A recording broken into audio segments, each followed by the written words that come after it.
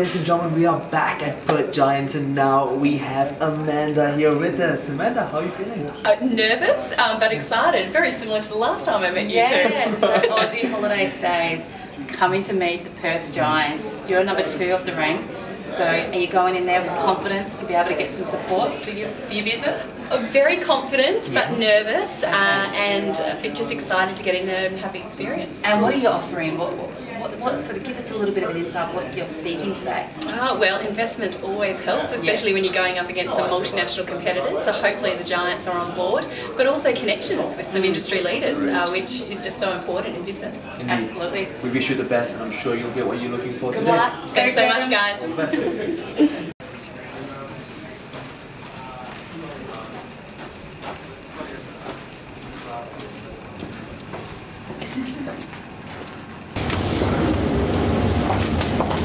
Good? Great. Um, my name's Amanda Walker. I'm from Willetton in Perth and I am the CEO of Aussie Holiday Stays. We're looking to give an investor 20% equity for a $500,000 investment based on a pre-cash valuation of $2 million. Can I invite you all to close your eyes for a second? I would like you to imagine that you're in your favourite holiday destination, surrounded by the people you love more than anyone else in the world, sharing communal space and creating lifelong memories. Please open your eyes. Helping our guests create those lifelong memories brings me a lot of joy. Aussie Holiday Stays is an online booking platform with heart for Australian holiday accommodation. We pride ourselves on our values of integrity, community, and sustainability. We live that by lower booking fees, better customer service, and promoting sustainable tourism by working with local governments and uh, national go- uh, state governments to only allow registered properties to list on our site. The short term market is massive, with $1 billion in a year in Australia alone. And we've had some great traction with our minimum viable product, WA Homestay. We're due to launch our national site in a couple of weeks, and we can't wait to share that journey with you. And I just wanted to thank you very much for your time. What's the difference between, uh, what's the major difference between what you are envisaging and what um, the, market of the, oh, what- what's it called? Airbnb. Airbnb. Mm-hmm. Yeah, so we started this journey back in March 2018 when Stayz changed to their international booking platform HomeAway. We were a holiday homeowner uh, with a property down south, and we saw an increase in fees, decrease in customer service, and a general disconnect from the local community. So we just saw an opportunity to make a difference, and industry got behind us, and we had properties list with us, guests book with us based on WA Homestay, which was our MVP. So what we initially went, we can do it for less commission because Stayz was working on a 10% commission model and we felt that was fair as a holiday home owner ourselves and a guest because I use holiday homes quite a bit as a family of five. When we got into it, we realised how important sustainable tourism was. There's been an uproar with the rise in unregistered properties listing on these booking platforms. State governments are trying to legislate uh, across Australia and in, in fact the world in relation to trying to pin back the unregistered properties listing on these booking platforms that are eroding things like long-term rental opportunities for locals. So we saw a real opportunity to make a difference and work with local uh, governments and state governments to ensure only registered properties list. And finally, the, the local angle of working with organisations like WAITOC, the West Australian Indigenous Tourism Council, uh, and other local businesses, uh, insurance businesses, and corporate travel. By being a local business, you can do things to make people's lives easier rather than the soulless uh, multinational competitors. So that's where we've seen our traction. You- You've got some revenue projections here, 1.2 mil gross revenue 22, 23.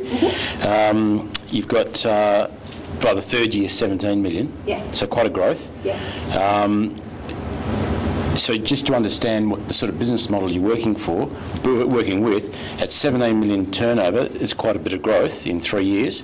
Uh, What sort of net are you expecting out of that 17, or is it just purely reinvesting every, every dollar forward? So it's an interesting, um, interesting case with two-way market systems. Valuations are often um, based on the total revenue flowing through the site. So when we're talking those figures, it's the total revenue coming through our site. But the majority of that goes to our host. So our actual proper revenue model will only be 10% of that figure because that's our commission-based model. Yep. So the valuations are based on the gross revenue flowing through, but our actual company revenue, for want of a better word, of that what I'm going to play with, mm. is 10% of that. Which is 1.7 million. Correct. Yes, for the if you 10% of everything that you're, you're needing. Now, in relation to that, um, it all goes back to you've got two like, marketplace, so it's the houses on board and the guests. We've worked out through WA Homestay how to get our housing stock up. So we're currently working through certification with RMS, which is one of the biggest property management softwares in Australia. We're looking 500 properties were on WA Homestay, which we were able to get the revenue figures that you've seen. Uh, we're looking to get a thousand plus more. You've got Quest Apartments that use RMS. There's about 500 properties in WA alone that we're already connected to that use RMS, and you extrapolate that nationwide, and you're looking at some very exciting figures um, to go forward with. So why, why would someone come in through you and not Quest or um, or Airbnb? Um, is it because the quality of the housing you're referring to is higher, better, Yeah. more comfortable? To be honest, I think the foot in the door is the fact that we're cheaper. So any property, regardless of, so we do 5% and 5%. For owners, there's 5% uh, charge and a 5% charge for guests. Airbnb is a 3% charge for hosts and up to a 20% commission rate for, for guests. So regardless of even if our properties managers and property owners increase our property price by 5%, we still beat Airbnb and the tail end of the amount that they're charging. Booking.com is 17.5%, Home and Away is the same. Um, so from a price perspective, that's the foot in the door. Since COVID, we've seen a huge uptake in support for local businesses. People are wanting to keep booking monies in Australia. They're starting to understand how important a strong Australian economy is. So while before with WA Homestay pre-COVID, we saw a lot of um, excitement from 55 plus that seemed to really resonate the Australian-made kind of idea. Now it's across generations. People are wanting to see booking monies in Australia. The other thing is when something goes wrong, we're on the other end. So the repeat business from WA Homestay a lot of the time was when they had an issue with the booking or something didn't quite go right, we're able to fix it. Um, hosts as well, there's no international booking, um, there's no international call centre. So the hosts have stayed with me on this journey when really they didn't have to, but they want to see a local um, organisation succeed because we're easier to deal with. So, so part of your pitch is the whole buy local piece, Yes. and I guess the ethical pitch as well. And Yes. you mentioned before that you've only have registered properties. So I guess Right. there's been a lot of, um, you know, um, for I guess the Airbnb, the fact that it's taking homes off the market, we're in an affordable housing crisis. So, you know, how do you position your business in terms of that affordable housing crisis and, and lack of rentals, whereas this is purely holiday? Yeah, certainly. I mean, we've turned houses away. So, City of Busselton's a great, um, a great example.